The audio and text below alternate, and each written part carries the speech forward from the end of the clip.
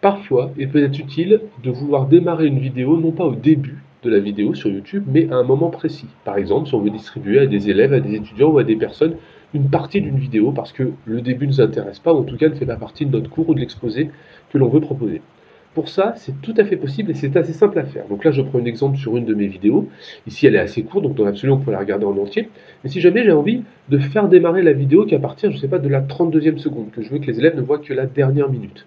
Ben pour ça, rien de plus simple. Vous voyez là-haut l'URL, et ben je lui ajoute à la fin dièse t égale pour le temps et en fait, ça va me donner le temps de départ, donc à la 32e seconde. Donc le temps s'exprime en secondes.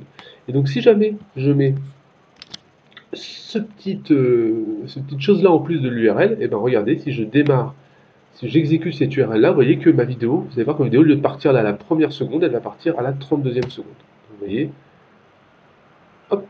Voilà, elle démarre directement à la 32e seconde. Donc ça, ça peut être quelque chose de très utile lorsque l'on veut euh, en particulier en effet sur les longues vidéos, démarrer qu'à un moment précis de la vidéo.